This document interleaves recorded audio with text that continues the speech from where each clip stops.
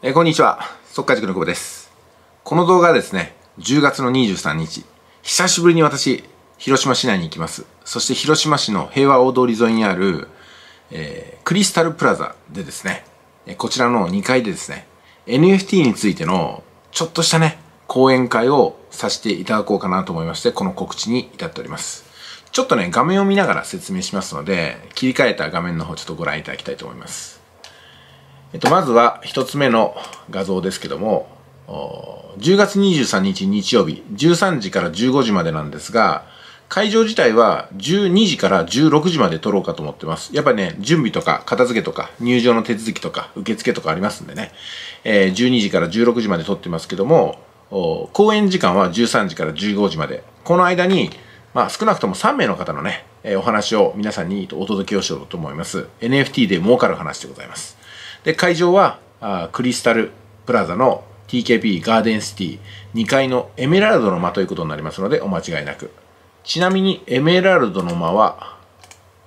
こういう風になってますね。こんな感じで机を並べておきます。そこで時にプロジェクター、そしてタペストリーなんかもつけて会場を盛り上げようかと思います。はい、そしてね、どんな方が講演されるのかと言いますと、ちょっと楽しみにしといてくださいね。これはですね、まずはね、マイケル・ジャクソンに会ったことがある人と言ったらいろんな方がいると思いますけど私は会ったことありません。でもう一つの画面なんですけどもこれマイケル・ジャクソンに会ったことのあるね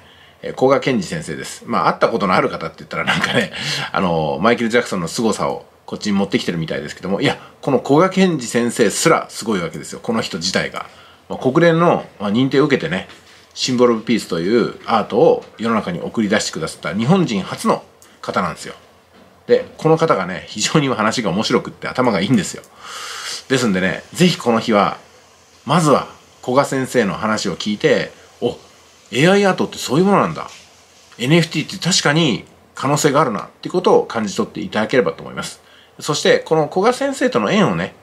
もう本当にいただくためにこの日っていうのはぜひ参加してもらいたいなと思います。次なんですけども、鳴門美術館が日本初の NFT 美術館としてオープンしたのは、あ前回 NHK の放送でもあった通りでございます。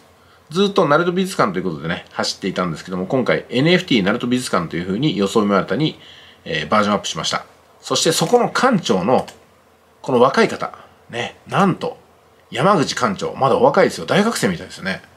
で、この、確か私のね、聞いたところによると、まだ30歳にもなってないらしいんですよ。で、この方がもうね、ものすごい、えー、事業、この NFT を関した鳴門美術館の館長されてるわけですけども、まあ、この方もね、すごいですよ。どの、どのぐらいすごいかっていうと、会場に来ていただくしかない。そういうふうに言わせていただきますけどもね、この方のお話も楽しみにしていただければと思います。